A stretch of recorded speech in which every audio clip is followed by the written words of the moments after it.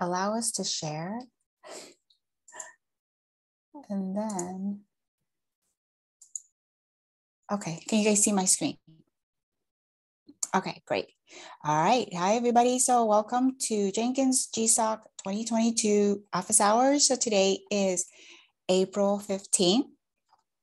Um, so pretty much we're going to leave it open to, you know, um, Dheeraj, since you're here, ask us questions. So it's pretty much open for questions. Yes, sure. Thank you. So I wanted to know, like, basically check if uh, Jenkins is able to visit, uh, see my proposal that I've uploaded via GSOC registration.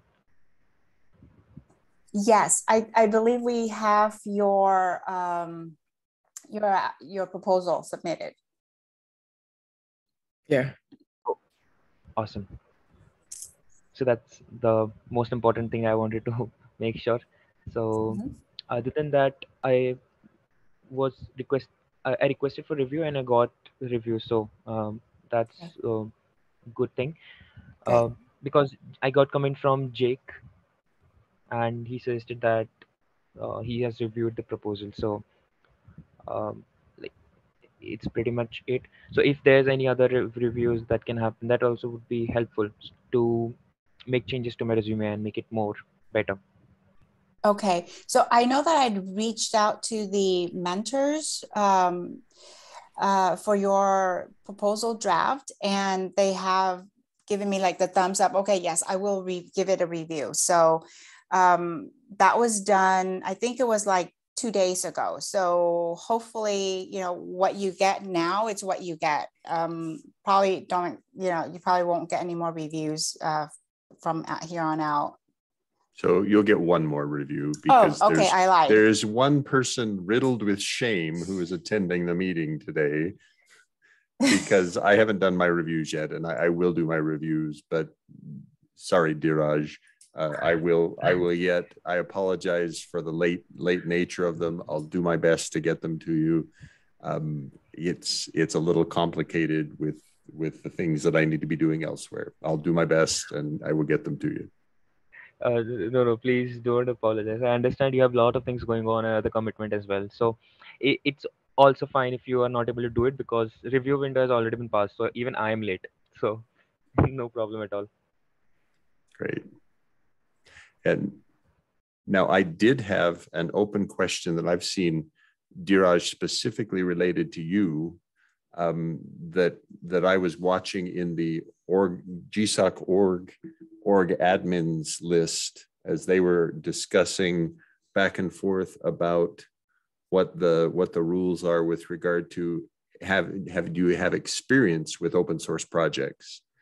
And and i'm still not entirely clear. And so i think it's it's going to have to take some thinking and pondering because one of the one of the rules in the gsoc things is you need to be new to open source but then they allow several different ways of being new.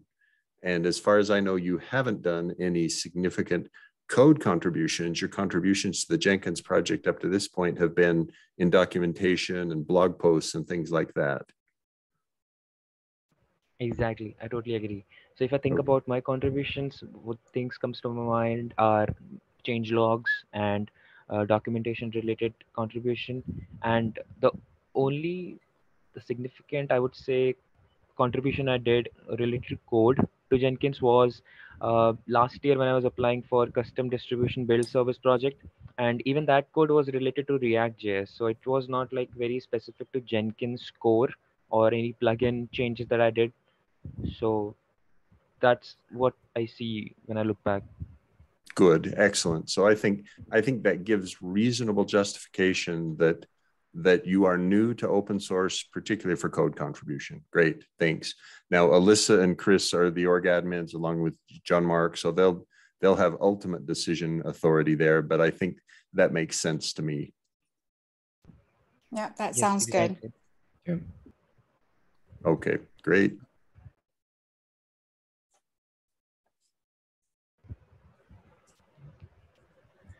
And Did you other than that, yes. So uh, I was also wondering, like, since we have time, so can you explain like if a person gets selected, then how would they utilize the time of community bonding?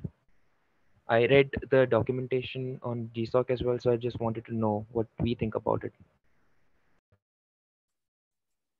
Yeah, so past community bonding experiences have been um, configure the environment, be sure you're ready to do development, be sure you can run the run the, the code that you're that you're using as your basis locally, be sure that you've got a working debugger, a working compile environment, that you can run tests there, that you've got a working Jenkins environment, that you understand how to deal with pull requests, how to submit them, how to interact with the mentors, set up the schedules for mentor interaction.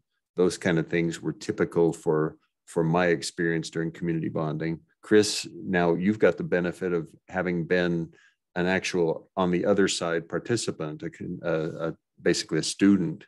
Maybe you've got a different view of what worked well for you in, in community bonding. Um, I remember basically I set everything up and then I I could start early if I wanted to. That's what I did. So you set everything up prior to the bonding, Chris, I'm assuming? During, during the bonding period. Oh, during the bonding, gotcha. Yeah.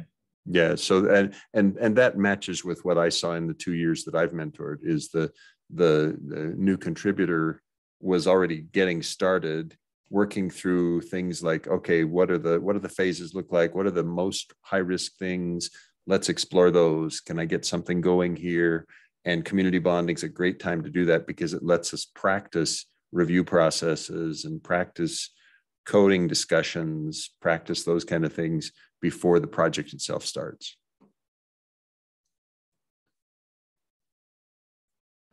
Uh, yes that makes sense.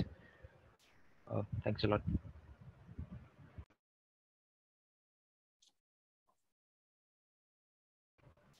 Other than that, I I think I do not have any significant questions for now.